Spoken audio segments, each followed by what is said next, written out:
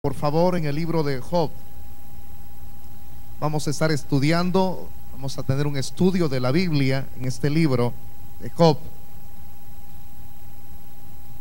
El estudio que vamos a desarrollar, vamos a desarrollar hoy se llama La experiencia es ahora diferente. Quiero que repitamos fuerte, a voz en cuello.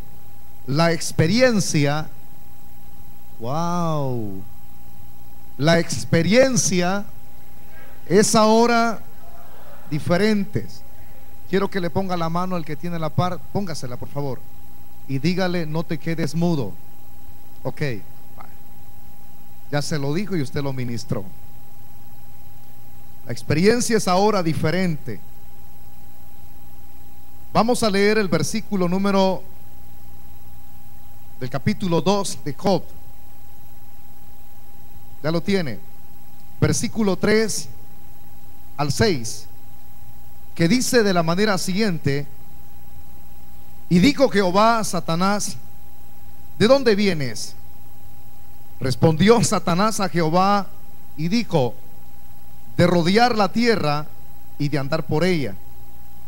Y Jehová dijo a Satanás, ¿no has considerado a mi siervo Job, que no hay otro como él en la tierra, varón perfecto y recto, temeroso de Dios y apartado del mal, y que todavía retiene, repita fuerte, retiene su integridad, aun cuando tú me incitaste contra él para que lo arruinara sin causa. Respondiendo Satanás, dijo a Jehová, piel por piel, todo lo que el hombre tiene dará por su vida. Pero extiende ahora tu mano y toca su hueso y su carne, y verás si no blasfema contra ti en tu misma presencia. Versículo 6, y Jehová dijo a Satanás, he aquí, él está en tu mano, mas guarda su vida. Verso 7, entonces salió Satanás de la presencia de Jehová e hirió a Job con una sarna maligna desde la planta del pie hasta la coronilla de la cabeza. Y dice el verso 8, y tomaba Job un tiesto para rascarse con él y estaba sentado en medio de ceniza. Tomen su asiento, por favor, si son tan amables.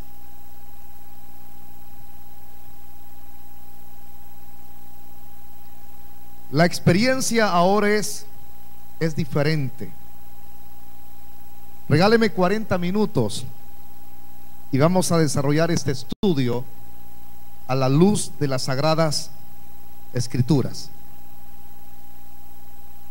Todo el comentario que acá se relata en este libro de Job, en el principio al analizarlo, es una experiencia bastante dura, difícil, triste, crítica. Lo he dicho de esa manera porque la mayor parte de escritores de la Biblia dicen que no ha habido persona más sufrida que la de este personaje del cual se habla en este libro. No voy a repetir lo que en otras ocasiones he predicado, sino que he querido tomar como base estos versículos para hablar acerca de experiencias que son distintas a la que este personaje atravesó aquí. Y para ello entonces, habiendo expresado en forma de introducción, ya lo dicho, quiero pasar a lo siguiente, a explicar con detalles dos experiencias distintas y la tercera va a ser la que vamos a aplicar en parte del, desarrollo al final y parte en la aplicación con la cual voy a culminar los 40 minutos. Se relata que la primera experiencia fue bastante dura porque se tocaron los sentimientos.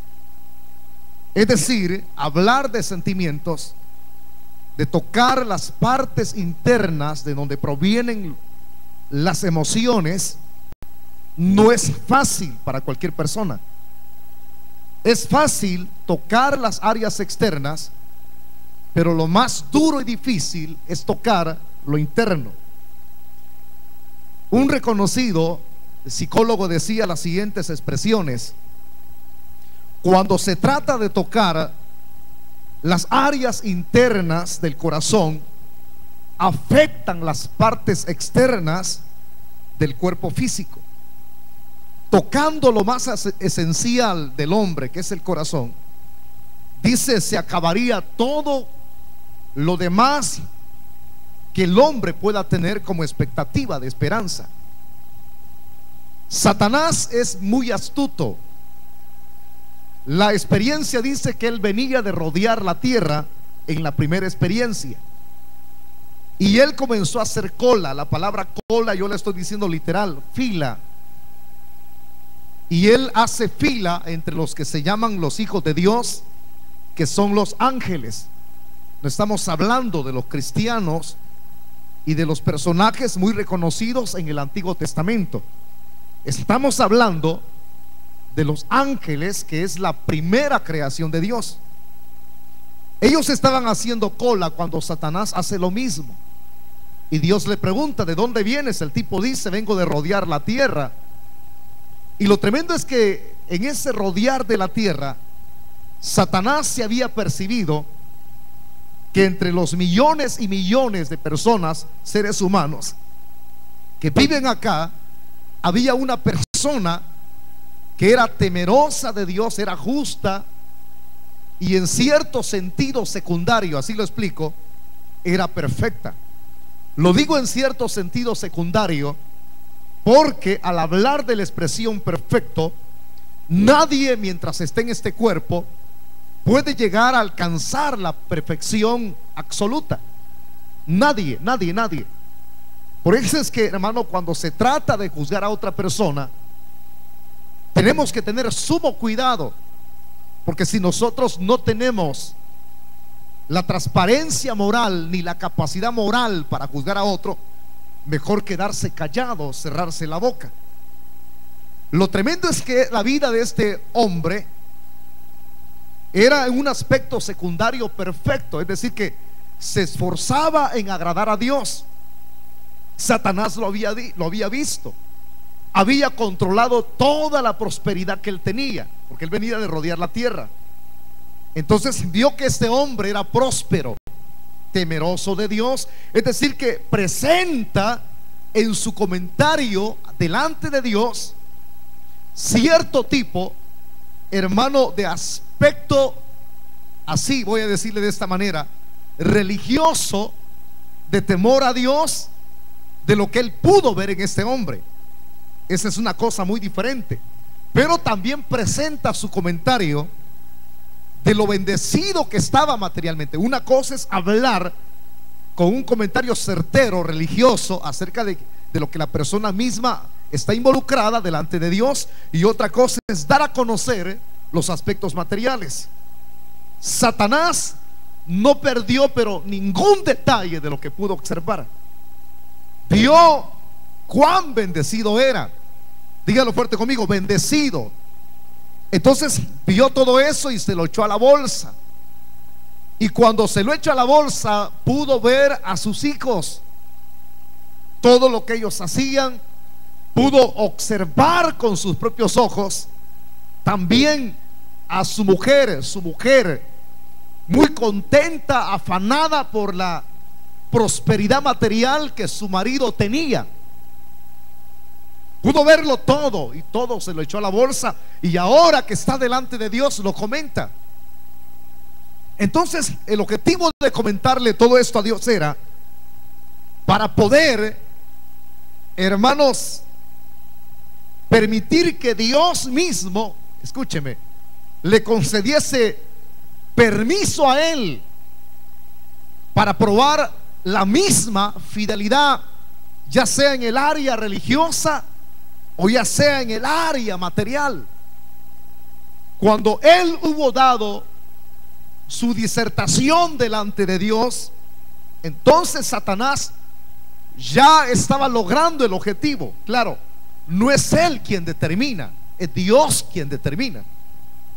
Dios es el que tiene la primera palabra y la última palabra. Cuando ya hubo dicho todo, Satanás entonces agrega esto.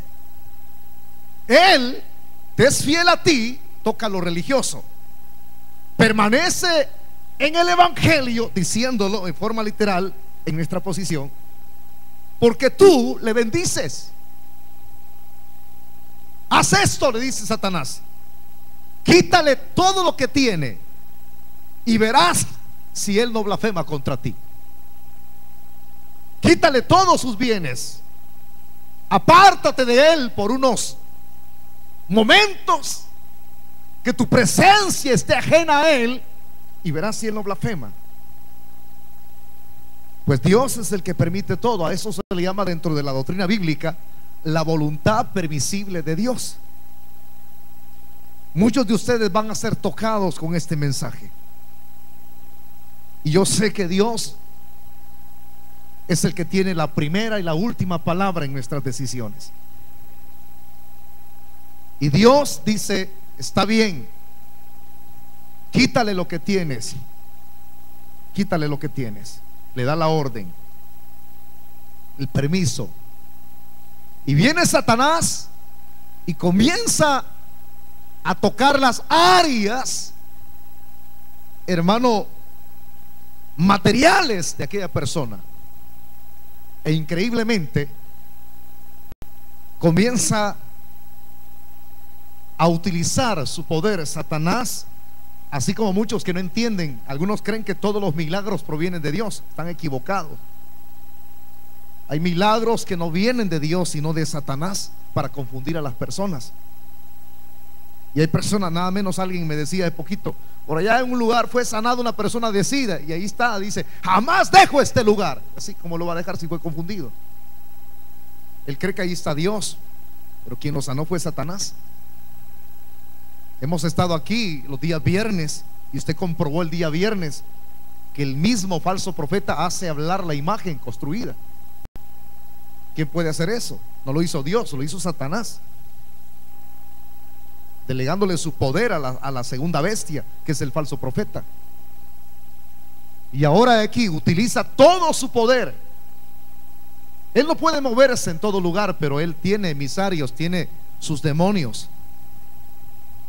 Mata a sus hijos y sus hijas, hermano. Increíblemente. Le quita sus bienes materiales,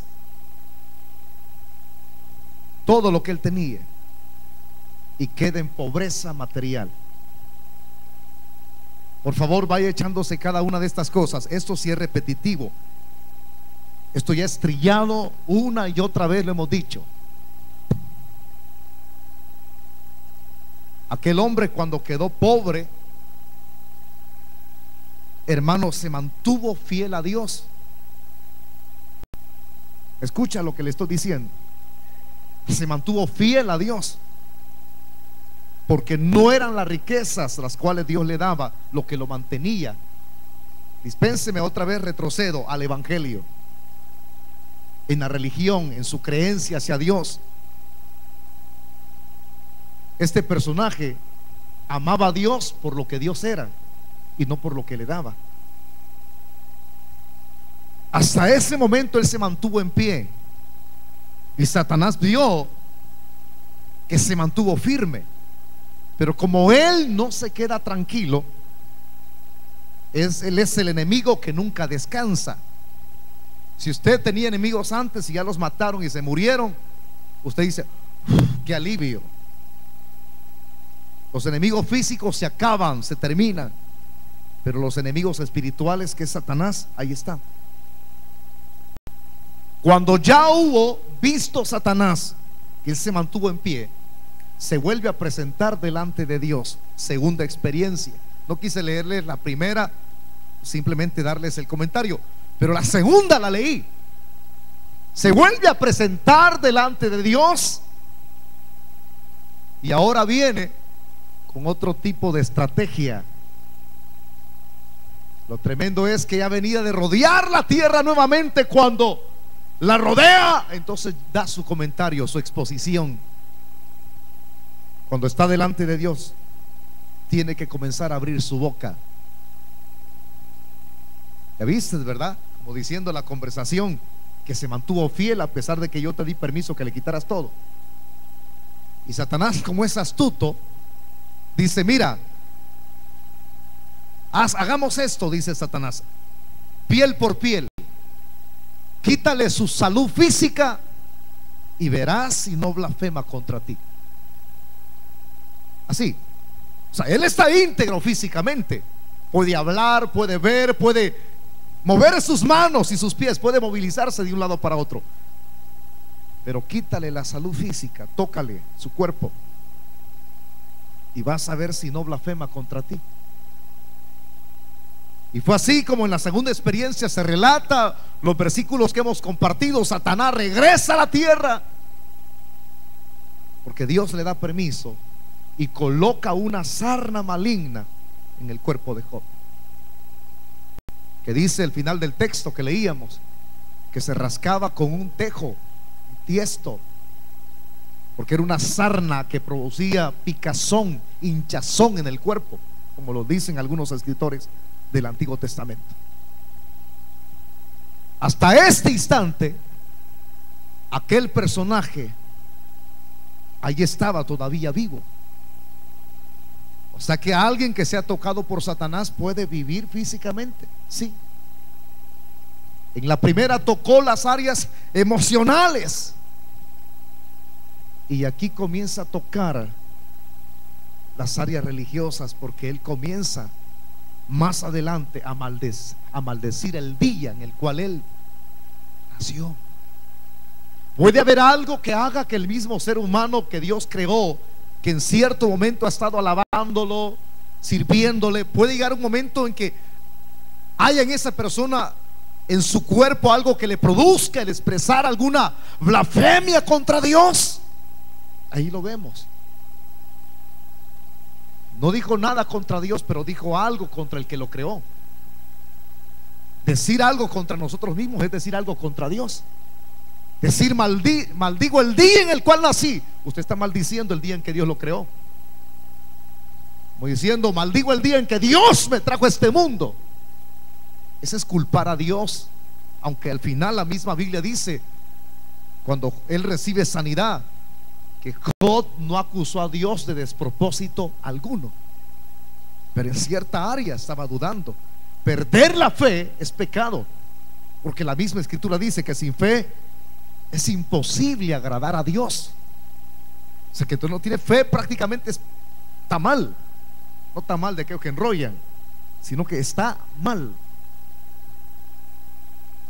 Qué duro habrá sido para él, ¿verdad? Y ahora, supuestamente, él todos los días tiene entrada en el cielo. Que quiera regresar. Entonces, ahora piel por piel, ya no tiene dinero, ya no tiene nada. Y la esposa ahora ya no está feliz. Porque hay mujeres que están felices mientras el hombre tenga plata. Mientras el hombre tenga trabajo, pero ya cuando no tenga trabajo, lo mandan a la calle a dormir con la laica. Así como hay suegritas que le paran bien la cara cuando usted le lleva algo. Pero mientras usted sea un pelado, veneno le quieren dar. Dispénsenme las suegras. La realidad de la vida es otra, hermano, que el que tú hayas oído un comentario por allá. Ya no te atienden igual como antes, como ya no lleva dinero. La mujer donde vio que el hombre que ya no tenía salud ni pisto y sus hijos muertos afectaron las áreas emocionales internas a tal punto que la misma mujer lo motivaba a maldecir a Dios. Maldice a Dios y muérete, que se acabe todo este asunto ya. Es desconfiar de Dios. Usted me dirá, pastor, ¿y qué con todas esas dos experiencias? Hay una tercera. Satanás todavía sigue entrando al cielo. llegará un momento en el futuro, dentro de la misma escatología bíblica, que Satanás ya, nos, ya no tendrá entrada al cielo. Será enviado del cielo para acá. Y es donde vendrá con una gran furia, que es en la segunda parte, el segundo periodo de tres años y medio, la otra parte de la gran tribulación. Por eso es que ahí hay un ay de los moradores de la tierra. Porque Satanás viene con gran cólera y furia.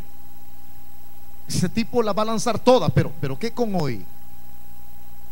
Satanás si sigue teniendo entrada al cielo. Ahora ya no pide, escúcheme, así en mi pensar, el tocar o el pedirle permiso a Dios solo con un cristiano. Les voy a decir esto y abran bien y apúntenlo, por favor, ahorita. Si no tienen donde apuntar, apunten en el lomo del que tiene a la par suya. Pero apunte algo. Busque un lapicero, mire quién se lo presta. Pero apunten. Parece ser que Satanás hoy no pide para tocar individualmente. Hoy se ha presentado en esta tercera experiencia para pedirle permiso a Satanás de tocar toda su iglesia. Ese es el asunto.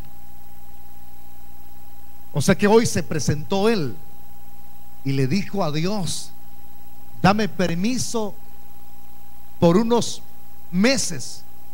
No le digo años porque falta poco para que el Señor venga a traer su iglesia. Ya no falta mucho tiempo. Ustedes ni lo creen, mano. Si lo creyeran, invitaran amigos. Muchos de ustedes están dormidos. No despiertan. Creen que faltan años y años y años. El Señor viene por su iglesia luego. Luego, luego. Si fuera así, ustedes estuvieran preocupados, mano, en topar este local. Él ha pedido permiso a la al mismo Señor, el diablo, de tocar su iglesia. Pensemos en esta tercera experiencia. ¿Qué es lo que el diablo quiere hacer con su iglesia? Si se presentó delante de Dios diciéndole, mira, Él te es fiel por todo lo que tú le das. Pasemos la primera experiencia y vayámonos al desarrollo en la última parte que me queda. Muchos de los que están dentro de las iglesias evangélicas son bendecidos por Dios materialmente. Y viene el diablo, le diría a Dios, quítale lo que tiene y verás si no se van para el mundo. Dame permiso de sacudirlo, dice el diablo. Quítale la casa que tiene. Quítale la protección, porque muchos de nosotros estamos bastante confiados y qué bueno que estamos confiados. Porque todas las veces decimos y lo hemos predicado y lo hemos enseñado porque son promesas que están escritas en la Biblia. Y fue Dios quien dejó esas promesas. Como hay promesas de prosperidad y todo lo que haga prosperará. Promesas. Si eres fiel, Dios ha prometido bendecirte. Así. Y las decimos y las declaramos una y otra vez. Pero ¿qué tal si el diablo pide permiso a Dios y le dice, mira, ellos, ellos están confiados en ti porque tú los guardas, porque tú los proteges. Quítale la protección que tienes y verás si no blasfeman contra ti. Es decir, Dile a los ángeles que tienes allá abajo, ángeles, suban. Ya no estén guardándolos. Ya no estén protegiéndolos. Hazlo. Y verás si no blasfeman contra ti. Cuando algunos de ellos ya no tengan tu protección espiritual. Y aparte de eso, la bendición que tienen material. Haz que pierdan el trabajo. Dame permiso a mí de quitarles su buen empleo que tienen. Dame permiso y verás que si los abandonas unos cuantos meses, ellos ya no te van a servir a ti, sino que se van a volver a los ídolos. ¿Usted cree que Satanás no, puede hacer eso? Lo está haciendo, hermano, para que usted se dé cuenta. Porque hay cristianos que están siendo tocados por el diablo. Algunas familias en forma personal me han dicho a mí, nada menos hoy, me dice una persona, acaban de matar a mi tío. Y era cristiano, entonces cuestionándome a mí me dice, pero, pero ¿qué, qué hago yo? Y le digo, Dios le permitió eso al diablo. Al fin y al cabo le está en buena vida ahorita, pues. No somos quienes para cuestionar a Dios. Pero hay muchos que están, están en las congregaciones, topan locales enteros, porque están por algo y no por amor a Dios.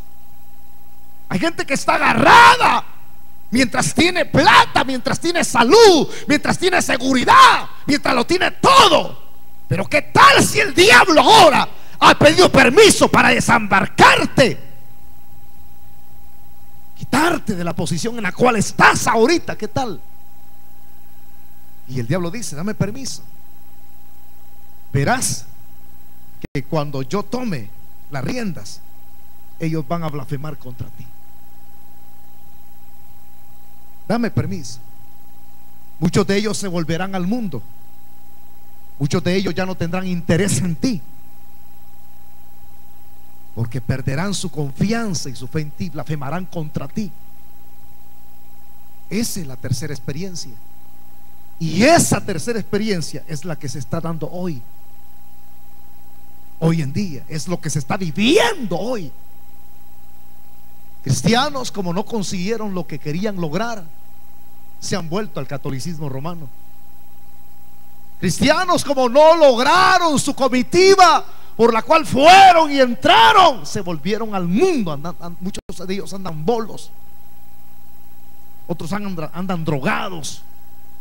Otros andan robando, se metieron en bandas de asaltantes. Otros regresaron a la pandilla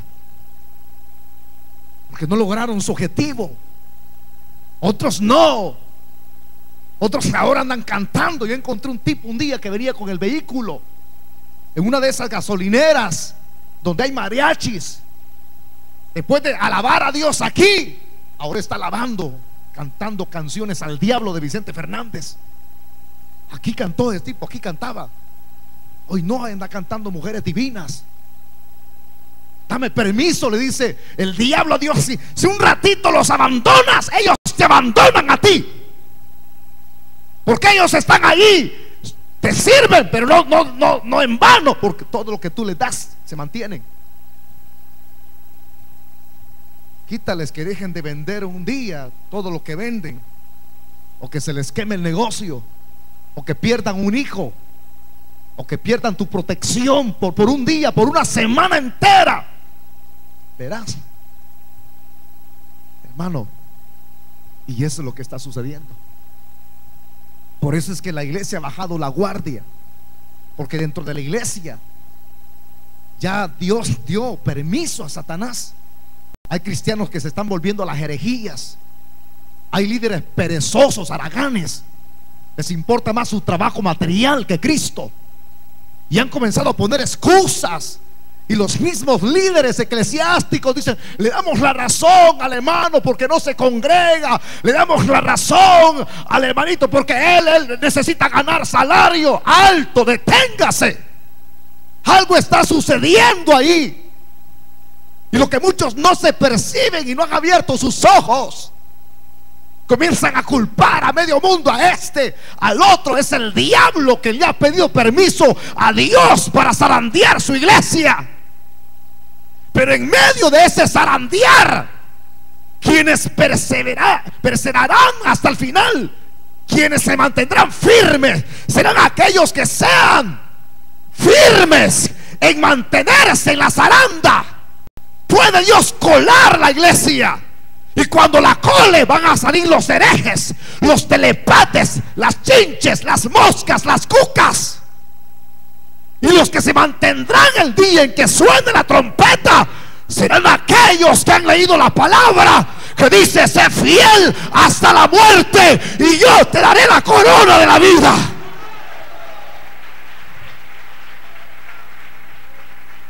El zarandeo ya comenzó. Y hay muchos de ustedes que ya comenzaron a ponerse pálidos. Parece ser que tienen carita de como cuando hay. Se creen los inocentes. Señores, veamos la realidad de lo que está sucediendo. ¿Por qué tiembla? ¿Por qué se está desconfiando de Dios? ¿Por qué ha comenzado a llorar?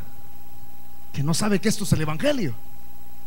¿O cree que es la franquicia de Sarita, helado Sarita? Que usted cuando llega a una, a una franquicia, le venden la franquicia, claro, a una sucursal, le dicen, ¿de cuál sorbete quiere, Señor? Usted puede escoger del que le gusta a usted. Te puede decir, a mí me gusta de vainilla, otro dice de chocolate, otro dice de fresa. Y así piensan que es el Evangelio. Una sucursal más de otras religiones.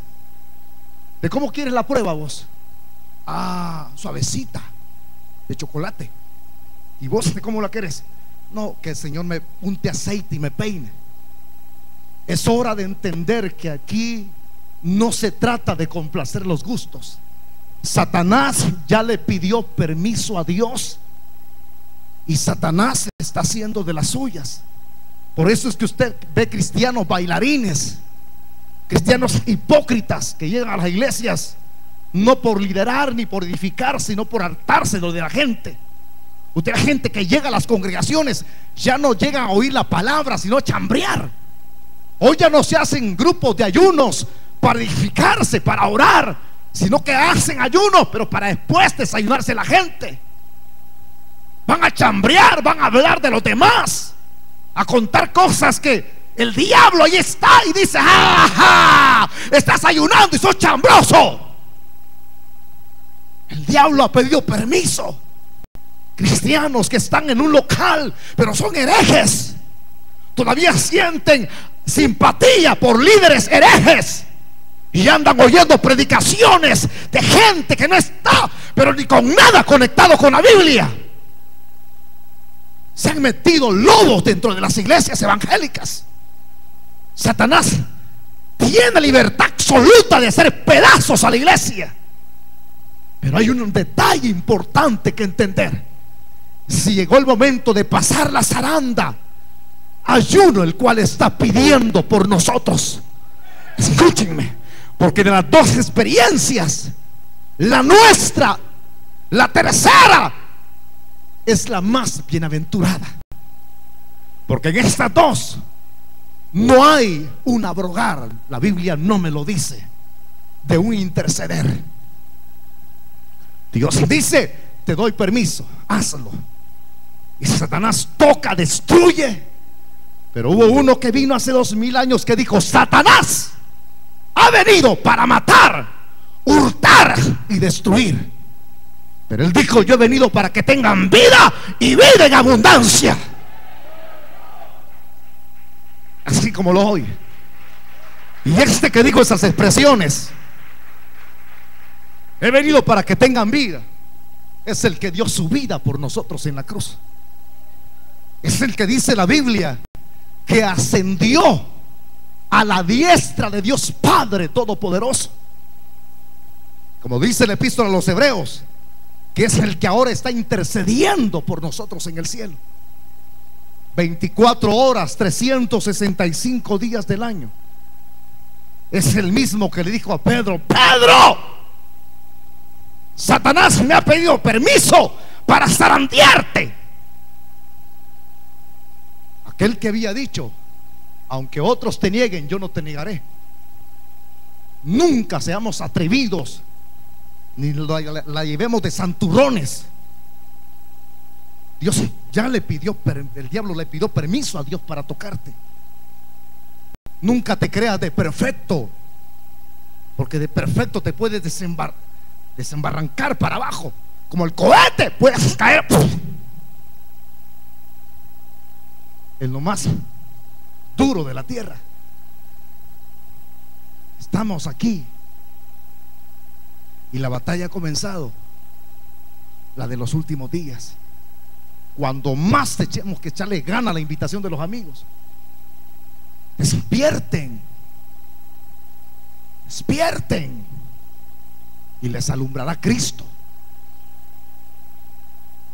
En esta tercera experiencia Muchos ya comenzaron a llorar. Es que no puedo, no puedo creer lo que esto sea así. Pues créalo. Aquí no es una película de Steven Spielberg, señores. Tiene fantasía, ni la guerra de las galaxias. ¿Dónde está Chubaca? ¿Dónde está Arturito? Ciencia ficción de los 70. Un viaje al centro de la Tierra. Julio Verne. Viaje a la Luna. Julio Verne. Libros que fueron llevados a la misma cinematografía de Hollywood. Señores, lo de nosotros es realidad. Pero hay una promesa. Que duro. Ya luego le digo la promesa, ya voy terminando el mensaje. Aquel que había dicho eso, no te negaré. Hace muchos que se la llevan de atrevidos. Tres experiencias duras que le sucedieron.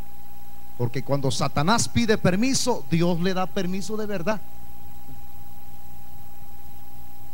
Y lo agarró y lo negó tres veces y maldijo que no le conocía. Eso es digno de condenación. Muchos señalamos a Pedro, señalamos a otros, pero muchos hacen cosas ocultas terribles. Ahí andan incentivando a otros a irse a otra congregación hereje. Tú que te llamas ser líder, arrepiéntete. O te sales tú solo o te arrepientes.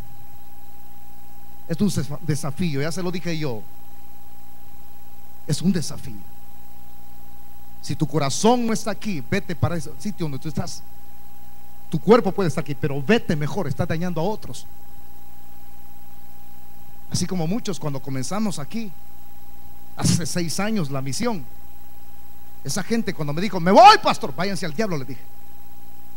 Porque estaban estorbando aquí. Estaban estorbando. Hoy no hayan qué hacer. Porque pensaron que era invento mío, que yo había fanfarroneado, había inventado. Vayan a ver cómo están. Que ni los mismos pastores de esa misión pueden renunciar. ¿Por qué? Porque dependen de un salario. Ya son viejos. Estaba teniendo conversaciones. No pueden renunciar porque son 3.500 dólares los que ganan a dónde, en qué lugar les van a pagar 3.500 dólares. Ya son viejos, algunos de ellos tienen 60, 50. Pueden porque están por el pisto. Hay gente que están en las congregaciones por algo. ¿Y por qué está aquí usted? Si usted no ama a Cristo, si usted no ama la sana doctrina, váyase. Vea dónde se va a meter a la iglesia católica mejor. Pero usted no puede proseguir así. Ay, hermano, que voy a ver el templo mormón. Váyase al diablo mejor. Se tiene que definir. Eso no es así. Que por día viene, hermano, hermano, este, no voy a poder venir toda la semana a la iglesia. Quédese ya. Ya no, ya estuvo. Quédese. Es que fíjese que me da, me da este, eh, lo de la gallina culeca. Eso no es así. Aquí hay gente que no es definida. No es definida para nada más. Media vez le duele al pelo, no vienen al culto. O sea, como que los intereses se les están quitando. Media vez no tengan lo que tienen. Muchos se van. Yo le pido a Dios que haga lo que tiene que hacer. Pero no es así. Hay alguien que comenzó a decir, si yo veo esto en la iglesia me voy, ya se hubiera ido, hijo. Otro dijo, el hermano Wilber mucho habla del conflicto de la guerra, mejor me voy, váyase. Si no le agrada el mensaje, váyase. Una cosa le digo, el, diablo ya le pidió permiso a Dios. Y le dijo a Pedro estas palabras. Yo le he dado permiso a Satanás, pero yo voy a rogar que tu fe no te falte. Que no te falte tu fe. Hay gente que está en la iglesia y todavía en nightclubs. Así.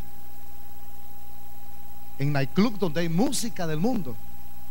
Algunos indefinidos vienen aquí una semana y luego me vienen a, decir con la boca abierta todavía, pastor, ¿me da permiso de ir a, una congregación que está por aquí donde van a abrir un club de baile? ¿Qué está haciendo aquí, Señor? ¿Qué está haciendo aquí? Es como el que todavía renta Usted no tiene por qué estar rentando ya.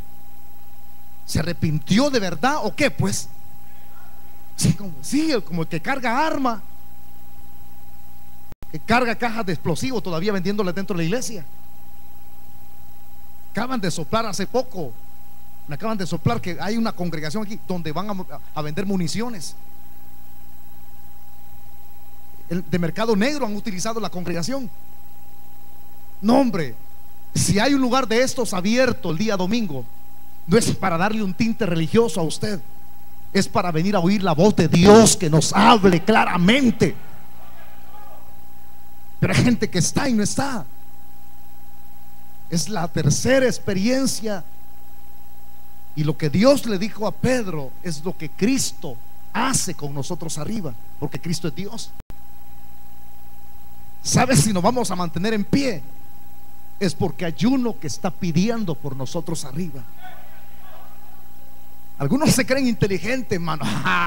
yo no he caído jamás, hombre. Cállate la boca, bocón. Si no has caído y estás firme y te gusta controlar a la gente a medio mundo, es porque hay uno que está doblando rodillas por ti. Dice tu nombre, pido por Juan, pido por Wilber, pido por la Juana, pido por la María, pido por la Magdalena, pido por toda la iglesia, la palabra que cambia. Hay uno que está doblando rodillas intercediendo. Mire, no aplauda ya, ya no aplauda. Ya no aplauda, así quédese mejor. Que hay gente que aplaude porque te aplaude. No se emocione ya. Ya es hora de despertar.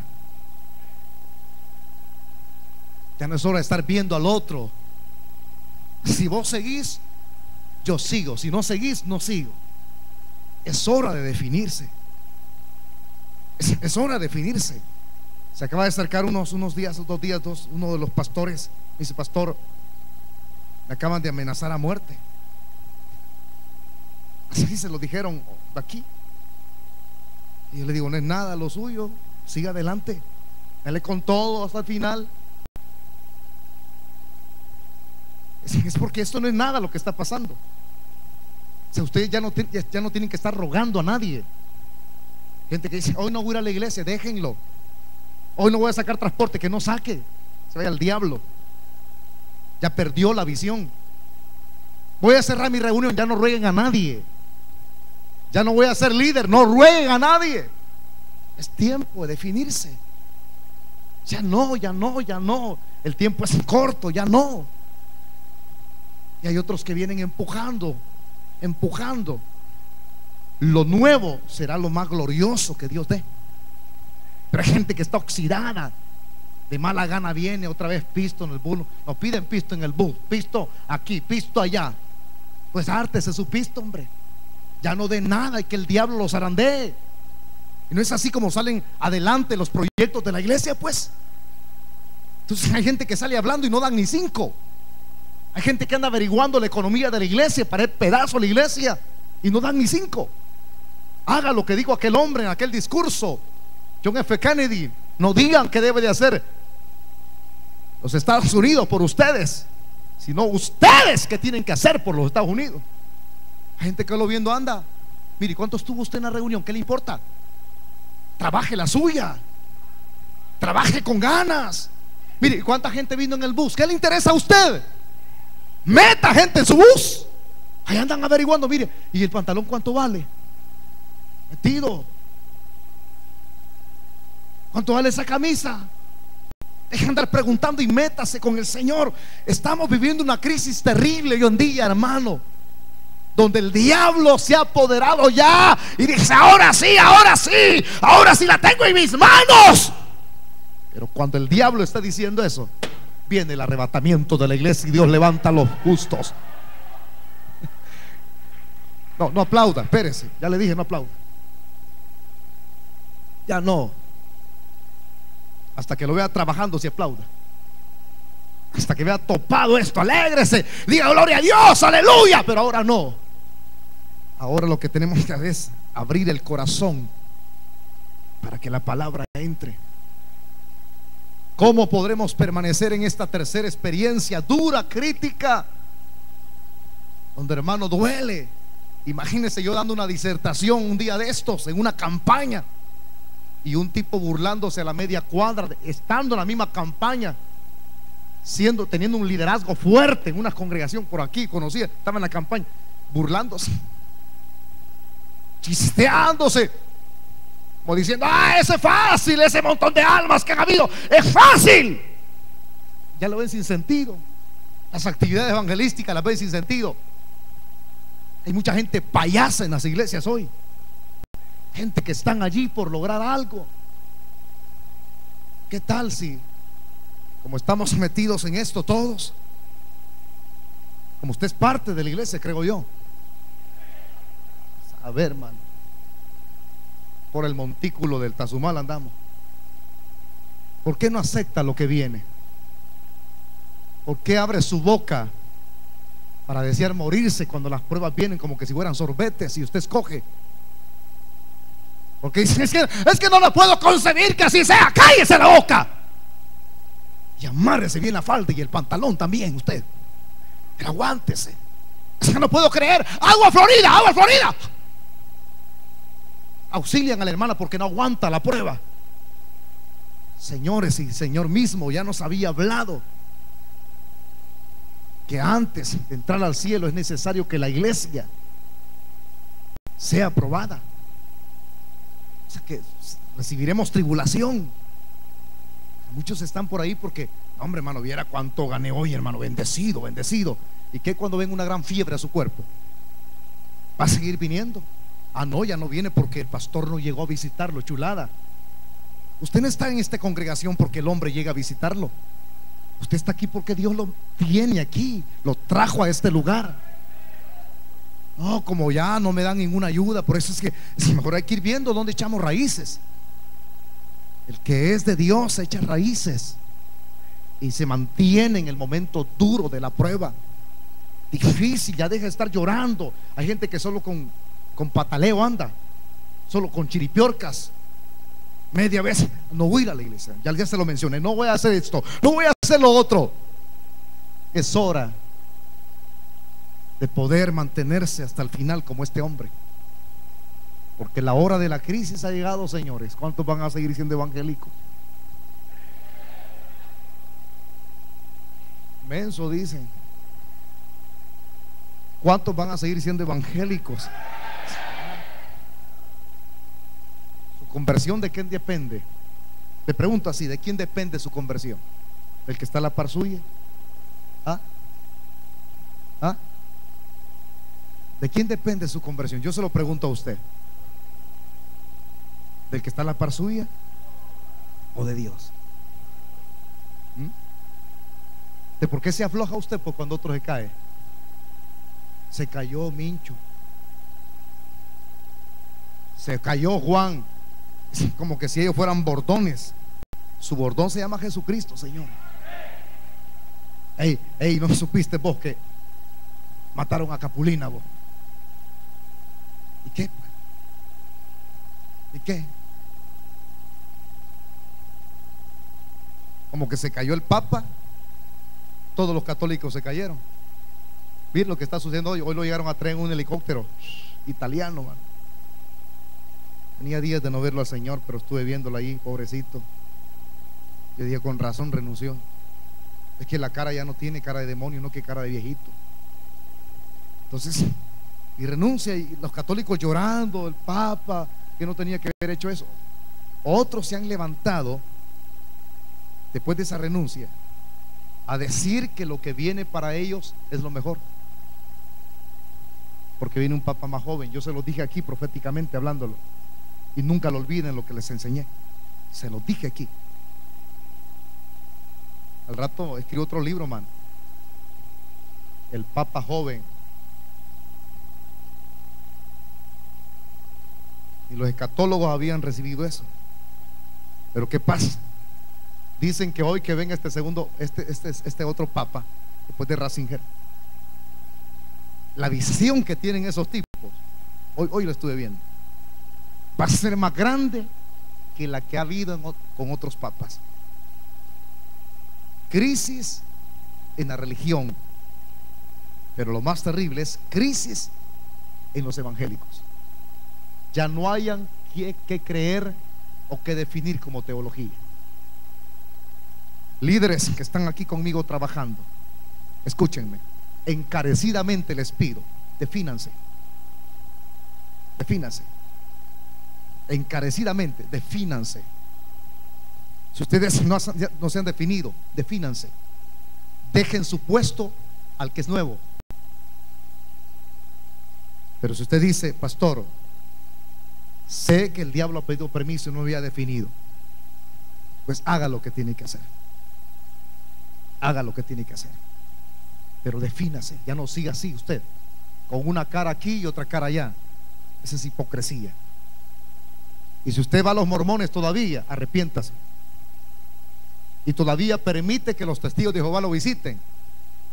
Defínase. Y si le gusta andar en iglesias bailarinas, defínase.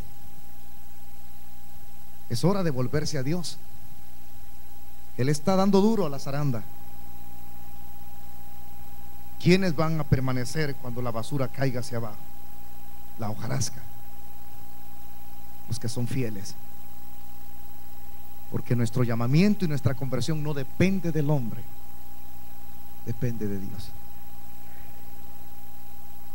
No se vayan a asustar con lo que les voy a decir. Hay pastores que se están suicidando. Hace unos meses atrás se suicidó un pastor. Y digan lo que digan, vean el video. Se despide con un discurso, dando a conocer la situación como está. Y la crisis en la cual la iglesia iba a pasar. ¿Cómo se va a poner aquí que a uno le van a contar que yo voy en mi carril manejando? Y de repente me paso al otro lado, ¿qué me ha pasado? Y de repente cuando hacen la inspección del vehículo dicen que el vehículo no tenía ningún desperfecto mecánico. Es porque el diablo ha comenzado y él mismo lo advierte en su... Vean en YouTube, ahí está. No les digo el nombre porque me lo reservo. Crisis. Otro diciendo que Billy Graham es un hombre de Dios. Cuando era uno de mis mentores en sus predicaciones, cuando yo la veía. Y de repente decir, maldigo a todo aquel que diga algo en contra de Billy Graham, cuando es el Papa ecuménico, híbrido, con cabeza de pato y cola de perro, no definido en su teología. Otro no, lo llegaron a traer para posarse con Benigín. Crisis, hermano. Otro no, otro aparece con una cantidad de pastores ecuménicos, lo fotografían y dice que no tiene la culpa. Crisis en la iglesia. ¿Quiénes se mantendrán ante la sacudida que ya comenzó? Yo que usted estaría levantando mi mano y diría, yo soy hot. Pero parece que usted, quizás muchos son la, la sarna que le dio a Job, no Job. O muchos son como la mujer de Job, que le dijo, maldice a Dios y muérete, en lugar de apoyarlo, en lugar de motivarlo, en lugar de salir adelante con él. Muchos incrustan el puñal. ¿Quiénes se mantendrán en esa crisis? Los que les gusta hablar en lo secreto que aportar o aquellos que tienen su mirada puesta hacia arriba. Pregunto a ustedes y yo termino ya. Si la crisis ha venido, ¿en dónde está su confianza? Así, ¿en dónde? decía un hermano hace poquito, yo no hay en quién creer ya, hermano. Porque el que está a la par suya puede ser un criminal todavía. Mire los ojos.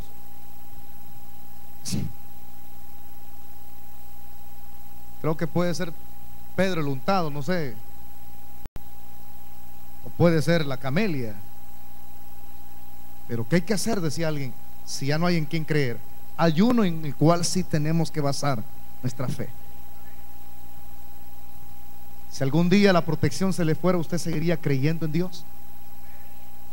No, ese amén es flojo.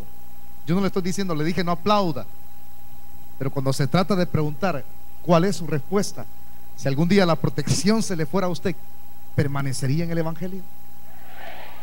Griten todo lo que quieran gritar. ¿Permanecerían ustedes? Si algún día el que está a la par suya le pega una cuchillada aquí dentro de la iglesia, ¿permanecería aquí? ¿Ah? No, así, seamos realistas. ¿Permanecería? ¿O estamos por algo aquí? Ha comenzado esto, hermano. Y es, es duro de aceptarlo, pero es la realidad. ¿Dónde estaba Dios? Dijo un hermano cuando se pegó el sopapo el bus y quedó bajo la llanta. Debajo de la llanta decía Dios, Dios. No, la cruz roja a él le dijeron. Él decía Dios, Dios, Dios. Y lo sacaron, man. Y cuando lo sacaron, solo mayugado estaba. Y los de la Cruz Roja le dieron auxilios. Y todavía decían, Dios. No, en la Cruz Roja él le decían, los con eso. Y él decía, Dios, Dios. No, la Cruz Roja es. Y abrió los ojos y dijo, Dios me salvó. Porque solo raguños tengo. Pero ¿qué tal si nos tocaran donde más nos duele? ¿Dónde está tu Dios? Tú siempre seguirías diciendo, él está sentado en su trono y Él tiene el control de todo. Hoy si dele palmas al Señor, mire. En momentos difíciles, duro, cuidémonos, hermano. Cuidémonos y mantenga su fe puesta y haga lo que dice la epístola a los hebreos. Puesto los ojos en Jesús, autor y consumador de la fe. Es hora de ya no estar afuera, desligados. Es hora de afirmarnos. Ya deje de poner excusa. Mucho trabajo, hermano. Mucho, ver, hermano, ¿cuánto? Déjese de cuentos. Usted ya está metido en otro molde y no aquí. Ya no se le ve el cachito. No, es que yo creo que, que por allá he oído ciertas palabras que son muy diferentes aquí. Defínase, defínase. Defínase si es una malformación genética o sigue siendo hijo de Dios. Hoy es la tarde de definir. Quiero que por favor todos ustedes cierren sus ojos, inclinen su rostro.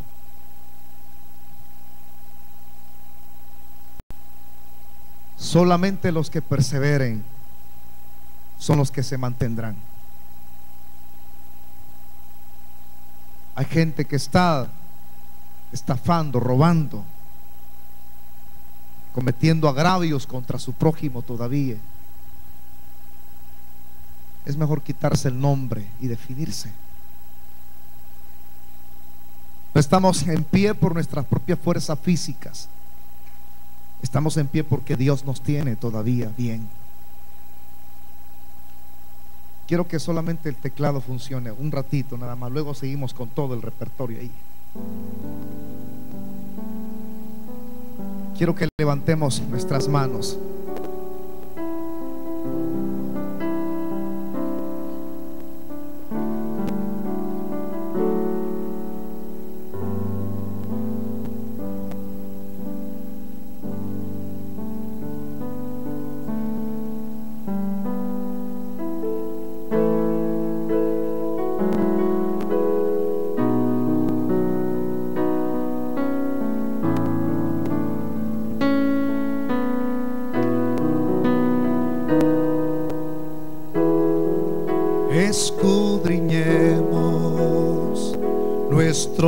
Caminos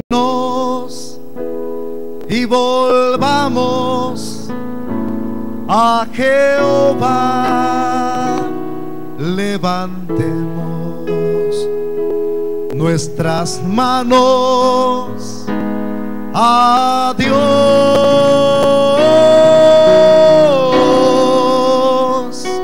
Levantemos nuestras manos.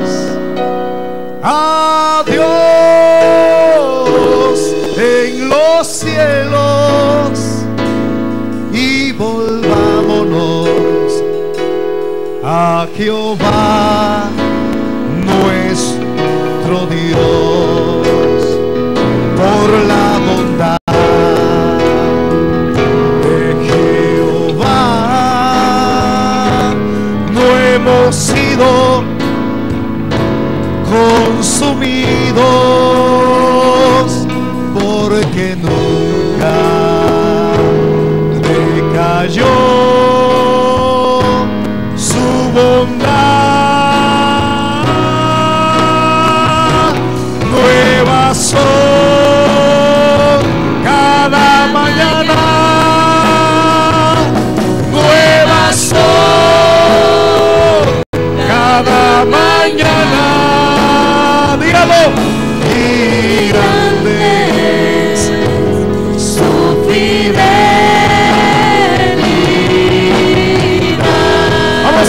nuestras manos. Nuevas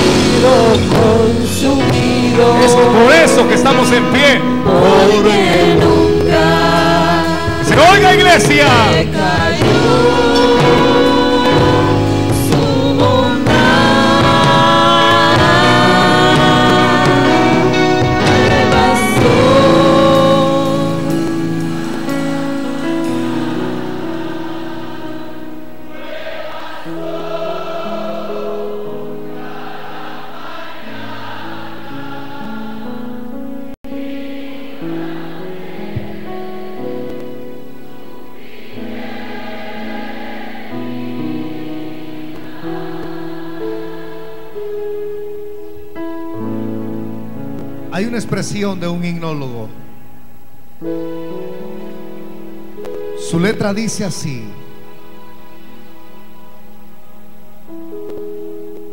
Y cala en lo más profundo del corazón.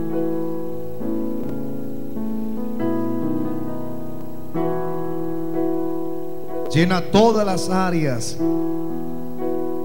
Abarca todo cuanto tenemos en nuestro interior.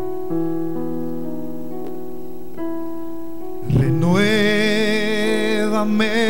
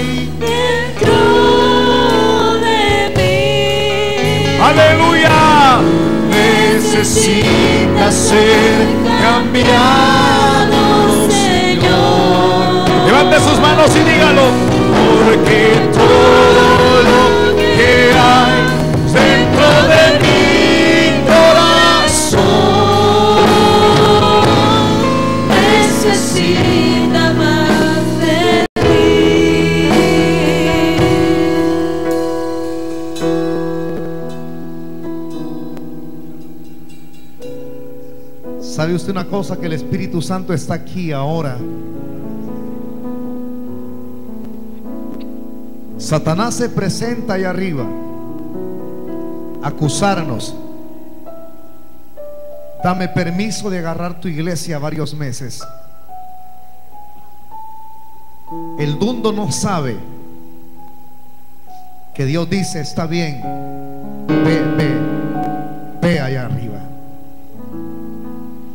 no sabe. Ve allá abajo, sondea la tierra. Es tan dundo que no sabe, él sabe, pero si hace el desentendido. Que aquí hay un paraclito con nosotros. Se llama Espíritu Santo. El que nunca te abandonará, así dijo Cristo. Él estará con ustedes él está a la par tuya hoy. ¿Por qué no lo palpas? ¿Por qué no lo tocas? Ahí vive en tu corazón. Abrázalo ahora en esta tarde.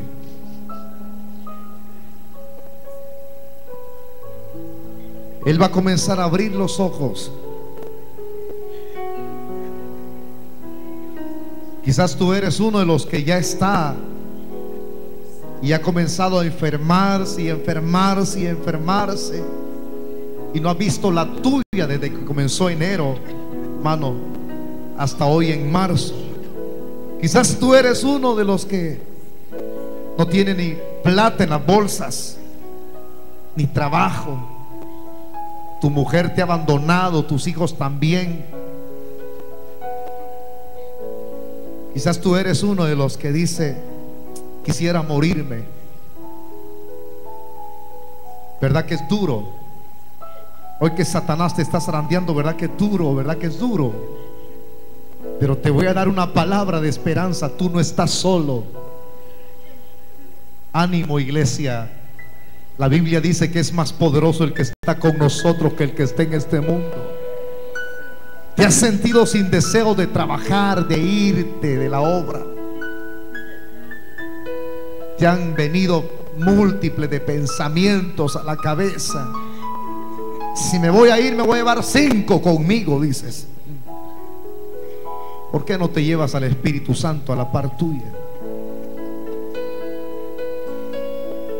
Así me tocó que hacer a mí hace unos días, llorar y llorar a la par del timón del vehículo. Caminé cinco kilómetros llorando, agarrado del timón. Y el Señor me dijo estas palabras. Lo que yo estoy permitiendo es una catapulta para trasladarte a bendición mayor.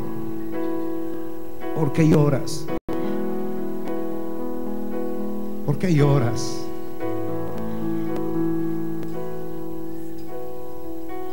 ¿Por qué lloras si he estado contigo todos los días?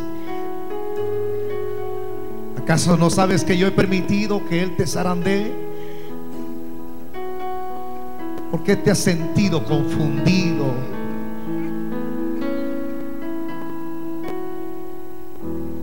Quizás muchos puedan acusarte. Ajá, lo que estás pasando es porque eres pecador.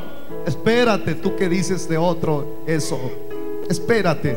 Si eres parte de la iglesia vas a pasar por lo mismo o por algo peor. No sabes qué es que te toquen tus hijos, ¿verdad? Los aspectos emotivos se impregnan duro. Y el diablo dice, ¿dónde está tu Dios? Y tú lloras y lloras y lloras. ¿Por qué no le dices al diablo ahora, mi Dios está en su trono? ¿Por qué no lo gritas a él para que lo oiga? Mi Dios está vivo. Mi Dios está vivo. ¿Por qué no se lo gritas al diablo en sus oídos? Díselo a él. Mi Dios está vivo. Él está en su trono sentado. ¿Dónde está aquella mujer fuerte? Dice. Aquella mujer que hablaba y predicaba con autoridad. ¿Dónde está esa mujer? Parece ser que el diablo te lleva de la delantera. Cristo te dice estas palabras, las mismas. Yo las aplico a Él porque Él es Dios. Quédate quieto porque yo voy como poderoso gigante peleando tus batallas. Hoy que las cosas no te han salido como tú pensabas. ¿Por qué andas todo triste, cabizbajo? ¿Por qué? Quiero hacer una invitación primero. Dios te ha guardado de la muerte. Dios te ha sanado. Aquí hay muchas personas que están llorando en la parte de atrás.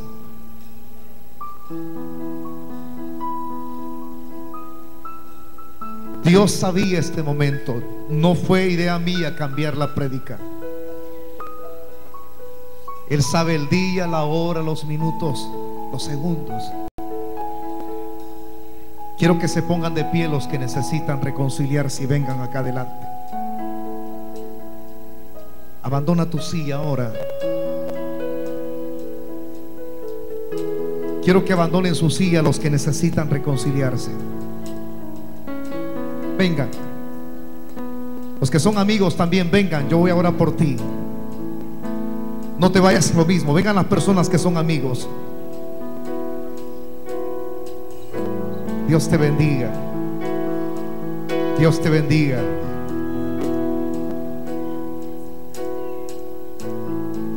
Vengan, vengan. Todos los que necesitan volverse a Dios. Dios te bendiga. Hace unos días dijeron uno por uno vamos a matar. Pero ahora al diablo le estamos dando un revés. ¿Quién más no se quede con los ojos abiertos? Usted salga de su asiento y venga acá. Amigo, ven. Yo voy ahora por ti, ven. Deja tu asiento.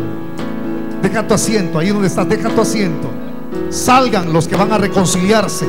Salgan los que le van a rendir su vida a Cristo. Te vas a quedar en la zaranda. Y ha gustado que el diablo te zamaquee. Sal ahora. Dios bendiga al joven también que viene acá adelante. Es hora. Dile al diablo, yo no me quedo en esta zaranda. Yo voy a seguir adelante, no importa lo que pase. Pero sal de tu asiento ahora, por favor. Me quedan dos minutos. Esta prédica no se repite. Sal de tu asiento. Deja tu silla ahora. Y ven y ríndele tu vida a Cristo. Corre, corre. Dios te bendiga. Corre ahora. Todo lo que Dios permite, lo permite para bien. Porque Él sabe los que son suyos. Es hora de afirmar nuestro rostro delante del rey. ¿Quién más sale de su asiento? ¿Quién más? ¿Quién más? Voy a cerrar ya. Yo no estoy aquí para rogarte. Vete lo mismo. Si esa es tu decisión propia. Pero yo sé que te vas a levantar ahora. Te vas a levantar ahora. Y vas a volar como el águila. Dios te bendiga. Llora todo lo que tienes que llorar. Es el Espíritu Santo. Dios te bendiga a ti también. Mujer, sal de tu asiento. Sal de tu asiento ahora. Ahora busca. ¿Quién más? ¿Quién más se pone de pie? Me queda un minuto nada más. Es hora de volverse a Él. Él está allí, Él lo permitió. El diablo dijo, lo voy a hacer pedazos, lo voy a hacer trizas. Pero Dios dice, después de esta, yo lo voy a levantar con una gloria mayor. Los que te van a ver reconciliar te dirán, "Ah, al fin descubrimos cuál, que quién eras tú, qué importa lo que diga el que está a la par tuya. Solo tienes que venir acá. Solo levántate. Ahora, vuélvete a Dios. ¿Quién más? ¿Quién más? ¿Quién más? Rápido pues. Cuento hasta cinco y termino. Uno. Mientras voy contando, diáconos, chispa, pero muévanse, muévanse, que se les denote el amor por los que van a invitar. Si es posible, corran. Si tú tienes un familiar ahí a la par tuya, hermano, te doy permiso. Te doy permiso que te levantes y vayas a traerlo. ¿Quién más? ¿Quién más? Es hora, es hora de volverse a Dios. ¿Quién más? ¿Quién más? No rechace, amiga, no rechace la invitación que le están haciendo ahora. Acepte a Cristo. Está llorando, jovencita. Está llorando, caballero. Está llorando, anciano. Llorando, niño. Ven, ven para acá. Levántate, hijo. Levántate ahora. Aleluya. Dos. ¿Quién más? Dios bendiga a la señorita. Dios bendiga a la otra dama que viene atrás. ¿Quién más? Es una noche de restauración. Es una noche cuando el diablo se le está dando un revés. Golpe bajo. A él no le agrada. Está enojado. Está enojado. Hoy es tu día. Hoy es tu tarde. Levántate, levántate rápido pues. Rápido, no importa la edad que tengas. Es una tarde de bendición para tu vida. Solo permítele al Espíritu Santo entrar a tu corazón y gobernarlo. ¿Habrá alguien más todavía? Levántate ahora. Dios bendiga a la mujer que viene acá. Bienvenida a la familia de Dios. Estos no son todos. Aquí se va a desatar una bendición impresionante. Dios ya me la había dado y ahora lo veo. ¿Quién más? ¿Quién más? Dios bendiga al joven. Dios bendiga al anciano. ¿Quién más? ¿Quién más se pone de pie? Esta no es una campaña. Esta es una tarde de restauración aquí. Dios sabe. Dios sabe por qué te trajo hoy. Solo levántate de tu asiento. Sal de tu asiento. Solo sal de tu asiento. Corre.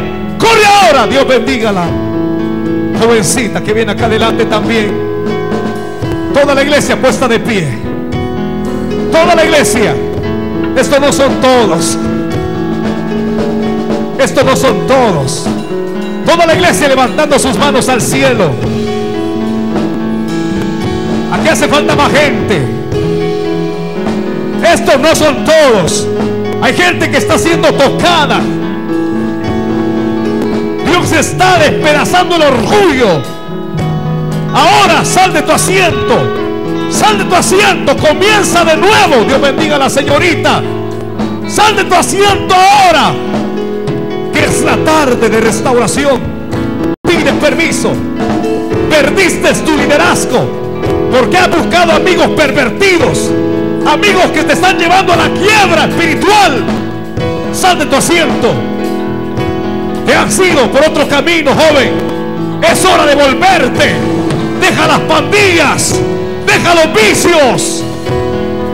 Ya no sea monigote del diablo. Venga ahora. Salga de su asiento.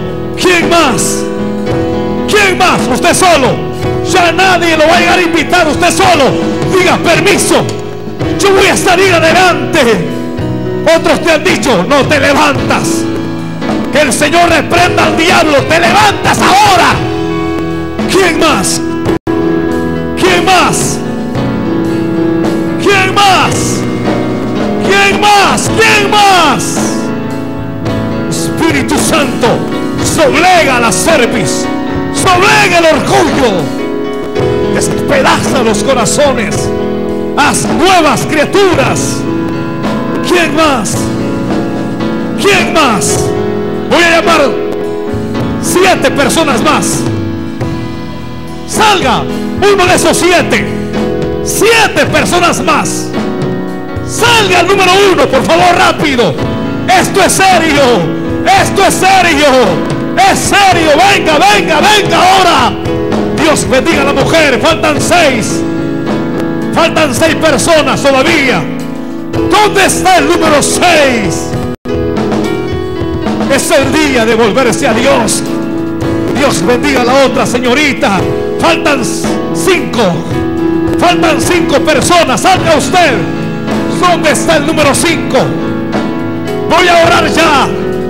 ¿Dónde está el número cinco? Salga rápido pues. Estás llorando. Dios te dice ahora. Ahora es tu día. Ahora es tu día. Sal de tu asiento. Solo dime permiso porque ya no aguanto. Solo pide permiso ahora. Cinco. ¿Dónde está el número cinco? Voy a orar ya. Voy a orar ya. ¿Quién más? ¿Quién más? ¿Quién más?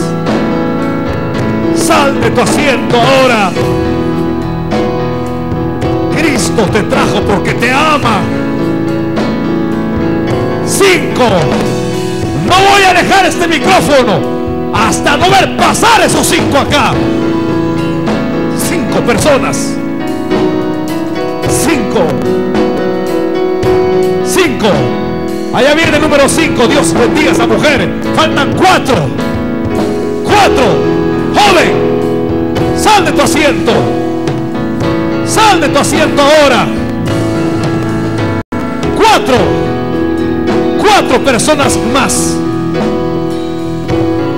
Cuatro. Cuatro. Aquí entre medio hay jóvenes. Tú necesitas volverte a Dios. Sal de tu asiento. Sal ahora. Sal de tu asiento ahora. Tres. Cuatro. Termino ya. Cuatro personas faltan. Cinco. ¿Quién más?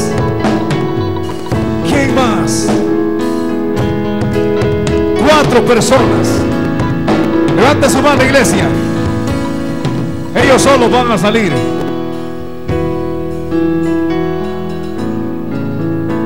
Toda la iglesia levantando sus manos.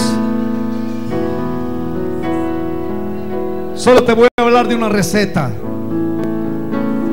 Hay gente quebrantada acá.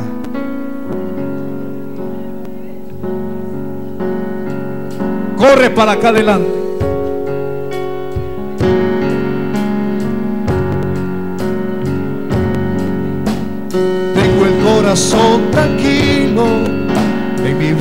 Ha pasado todo, nueva criatura soy.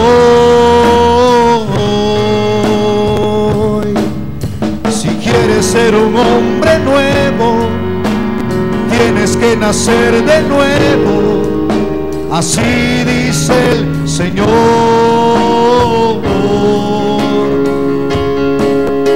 ¿Lo ves como algo raro?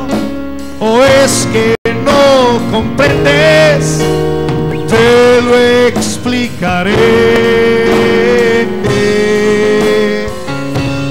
Número uno, dale hoy tu corazón. Número dos, pide perdón por tus pecados. Número tres, alábale al Señor. De compartir esta receta. Número uno.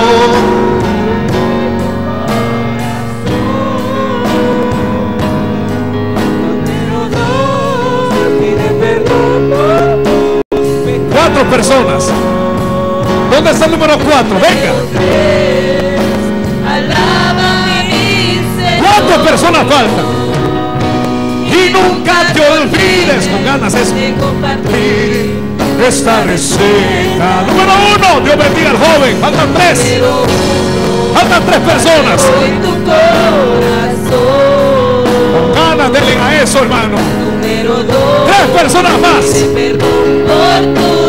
¿Dónde está el número tres? Salga rápido. Número tres. Alábale al Señor.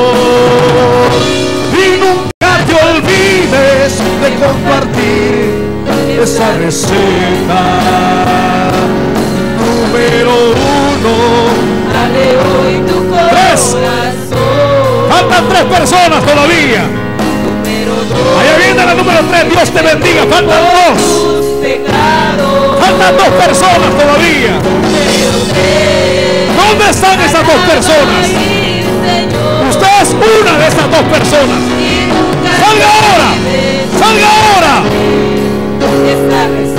Voy a orar ya. ¿Dónde están esos dos? Usted es, usted es una de esas dos. Levántate. Levántate. Voy a orar por ti ahora. Levántate ahora. Ven, ven, levántate. Hoy es tu día de salvación. Dos personas. Alaba a mi Señor. Siga, siga alabando. Olvides de compartir. Dios bendiga a la otra mujer. Falta una. Falta una persona. Uno. Abre hoy tu corazón. Número dos. Pecados. ¿Dónde está uno? Levántese. Salga de su asiento ahora. Voy a orar ya. Uno. Uno. De compartir esta receta. Vamos a orar. Uno falta. Usted es ese número uno. Salga de su asiento ahora. Toda la iglesia levantando las manos. Cuando vaya orando va a pasar esa persona. Levanten la mano todos.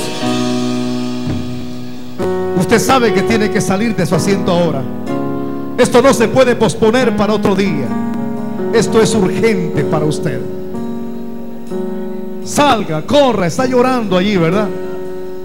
Salga. Ya deje de ser híbrido. Tanto que le he predicado, tanto que le he enseñado. ¿Dónde está su corazón? Salga. Salga, corra. Pero corra ya. No posponga este momento.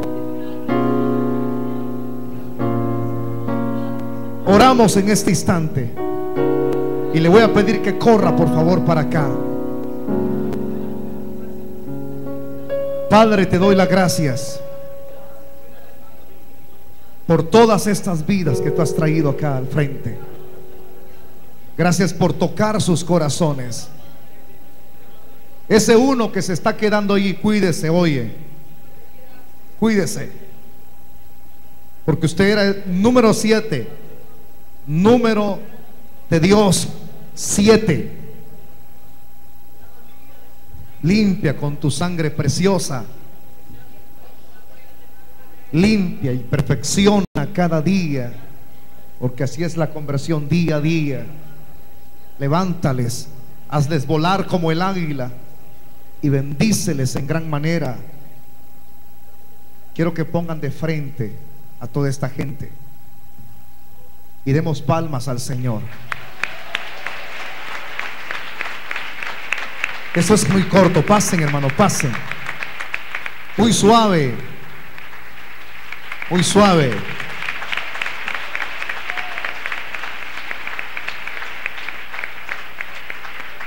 Siéntense. Yo creo que no hay duda.